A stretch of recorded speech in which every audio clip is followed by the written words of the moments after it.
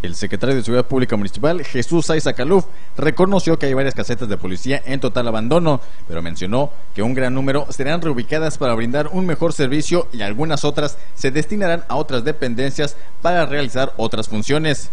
En un recorrido por la ciudad se comprobó que la mayoría de las casetas están en completo estado de abandono desde hace meses o incluso años y en varios casos sirven de basureros o guarida de malvivientes. De las 25 casetas que tenemos se está haciendo una reubicación donde sean más funcionales, pero no nos da el personal.